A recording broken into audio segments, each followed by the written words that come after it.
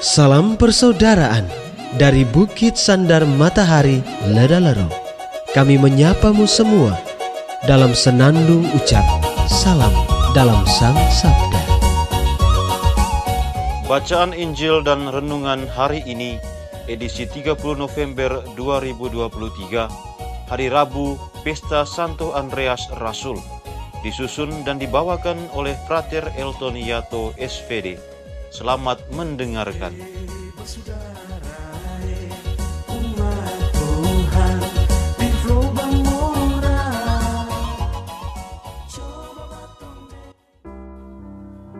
Bacaan diambil dari Injil Matius bab 4 ayat 18 sampai 22. Pada suatu hari, ketika Yesus sedang berjalan menyusur danau Galilea, ia melihat dua orang bersaudara, yaitu Simon yang disebut Petrus dan Andreas saudaranya. Mereka sedang menebarkan jala di danau, sebab mereka itu penjala ikan. Yesus berkata kepada mereka, "Mari, ikutlah Aku, dan kamu akan kujadikan penjala manusia." Mereka pun segera meninggalkan jalannya, lalu mengikuti Yesus. Setelah Yesus pergi dari sana, dilihatnya pula dua orang bersaudara, yaitu Yakobus anak Zebedeus dan Yohanes saudaranya bersama ayah mereka Zebedeus sedang membereskan jala di dalam perahu. Yesus memanggil mereka dan mereka segera meninggalkan perahu serta ayahnya lalu mengikuti dia. Demikianlah sabda Tuhan. Terpujilah Kristus.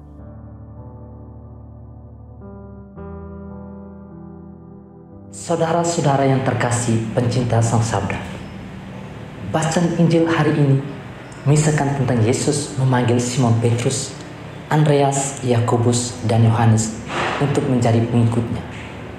Cara Yesus memanggil keempat murid ini sangatlah menarik untuk direnungkan.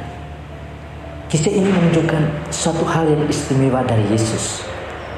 Keistimewaan dari Yesus ialah memanggil empat orang yang awalnya bekerja sebagai penjala ikan atau nelayan untuk menjadi penjala manusia atau pengikutnya.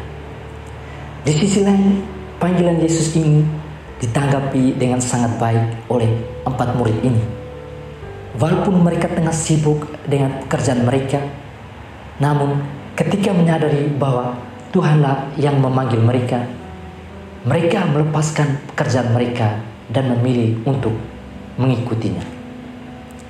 Apa yang dilakukan Yesus ini menunjukkan bahwa sesungguhnya Yesus mau menjadikan keempat murid yang dipanggilnya ini sebagai model atau contoh bagi setiap orang yang mau mengikutinya.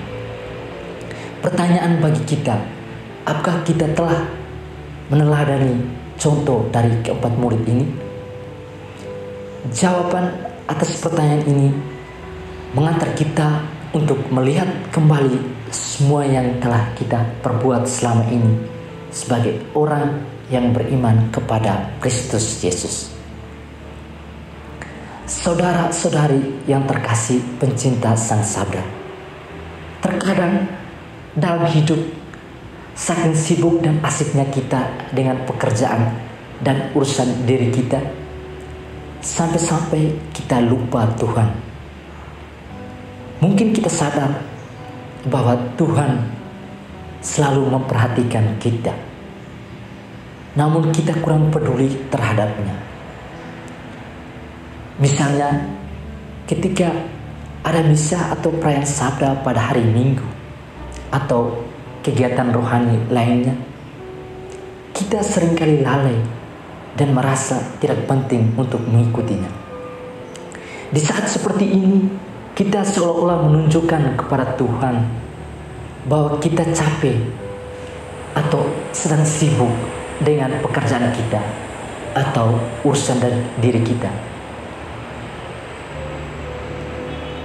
Saudara-saudari yang terkasih, pencinta Sang Sabda.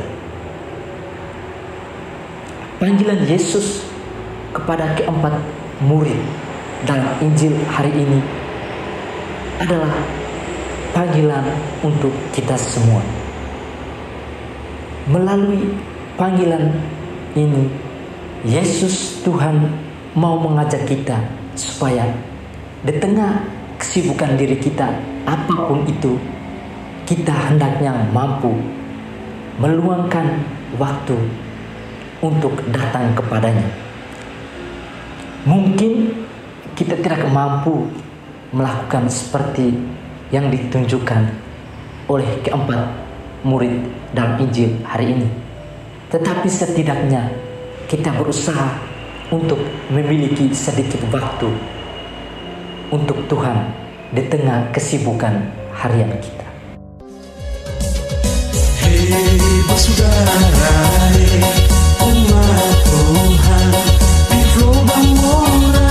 Sahabat-sahabat pencinta Sang Sabda, kita baru saja mendengar bacaan Injil dan renungan edisi hari ini. Sampai jumpa kembali pada edisi berikut. Terima kasih kepada Divisi Kerohanian website Seminari Tinggi Santo Paulus Ledalero. Semoga Sang Sabda menjiwai seluruh pengalaman hidup kita hari ini. Tuhan memberkati kita sekalian. Amin. Dalam satu hati dalam kasih